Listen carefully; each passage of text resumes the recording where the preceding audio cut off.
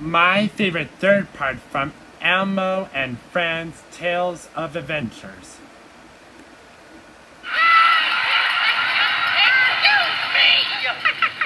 I don't know what's going on here, but can somebody tell me where I can find Mr. Amazing Al? Please! That would be my. Oh, package for Mr. Amazing Al. Well, thank you. Okay. Bye-bye. Elmo Monster. Here is your prize. Oh, really?